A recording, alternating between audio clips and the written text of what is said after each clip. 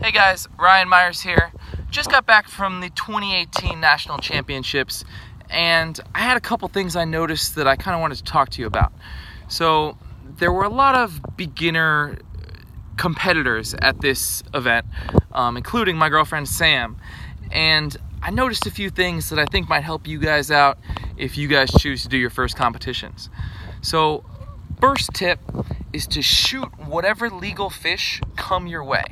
Now, that might seem pretty easy, pretty obvious, but in these in these competitions, we'll usually have a maximum number of fish we're allowed to shoot, and each of those species is split up into kind of categories. So we might be allowed, you know, for example, this tournament, uh, one barracuda, two gag groupers, five mangrove snappers, five hogfish, and you're allowed 20 fish total. And what kind of happens is you get in this you get in this this habit of kind of waiting for that big fish, waiting for that trophy fish. And that's just natural because that's just the way we normally dive every day. We'll go down to the bottom and you kind of you kind of first check for your cobia, then you kind of look for your groupers, then you're looking for your red snappers, and then by the time you see that sheephead that's been sitting there the whole time that you really needed, um, it's time to go up. So um, so my my number one tip is shoot whatever legal fish swim past you. And uh, and then hopefully by the end of the day you'll end up with your 20 fish. You'll have max points. They might not be the biggest fish, but uh, but you will you'll be sitting in a pretty good position. So second tip for you guys is to really slow down.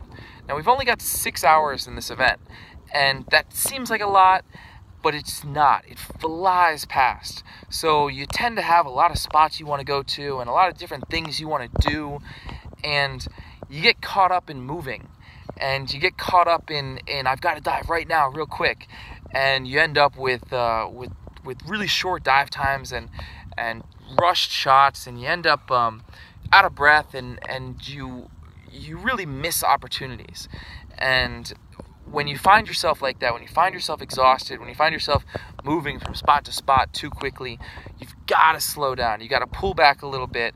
Understand that that diving quickly doesn't help if you miss that fish. Diving really fast between drops doesn't help if you end up too out of breath on the bottom to wait for that big grouper to come into you. So when you're when you're in these competitions, you know, you've got to make a little bit of haste, but know that that it, you also have to go slow. You've got to got to do the fundamental of freediving, which is to really relax and take it easy. And tip number three for you guys is to not care about what other people are doing. So that that includes the people on your own boat, your your teammates, the people on other boats next to you. Um, if you roll up to your your spot and you know you've got a good fish there you want to shoot, or you know there's a bunch of fish there, it's a good spot, get in. Doesn't matter if there's other boats there. They're there for the same reason you are. They're still in the water for the same reason that you're there. Is that there's fish there. So don't worry about them take your time, go slow when you need to, and shoot whatever available fish come your way. And I think you guys will do great in your first competition.